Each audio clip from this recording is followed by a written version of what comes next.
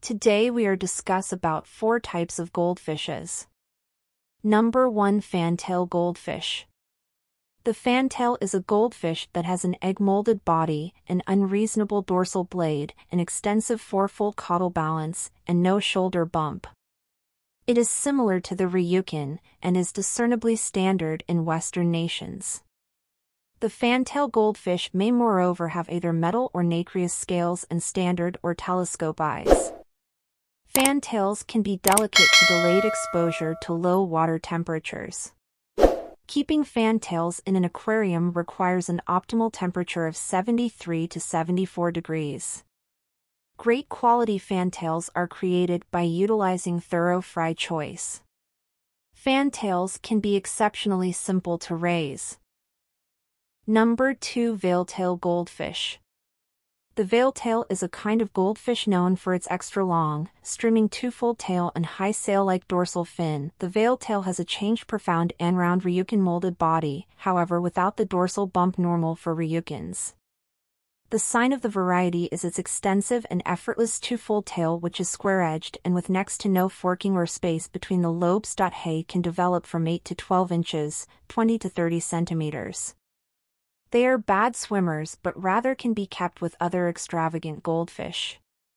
Veiltails won't acknowledge temperatures under 55 degrees Fahrenheit 13 degrees Celsius. Number 3 Red-White Comet Goldfish The comet goldfish, likewise called the comet tail goldfish, are a rosy orange-hued goldfish that are reasonable and promptly accessible. This fish was the primary assortment of the single-tail goldfish to be created with a long caudal, tail, balance. It was created in the United States from the common goldfish in the mid-19th 100 years, probably by Hugo Mullard of Philadelphia who then, at that point, brought them in amount into the market. However they are a piece more modest goldfish than the common goldfish, they are just as tough and can be kept in either an aquarium or in an outside lake. These fish can be very affable and are awesome to watch. One of the hardiest of the goldfish assortments, the comet goldfish are suggested for novices.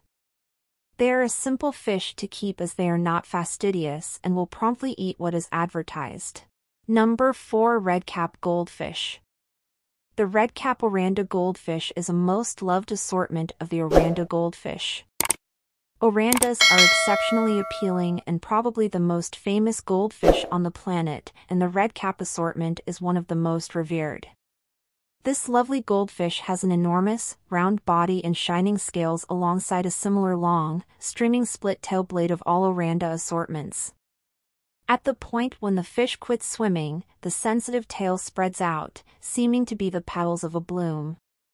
In contrast to the common goldfish, with its long thin body, this extravagant goldfish is one of the more adjusted or egg-molded extravagant goldfish.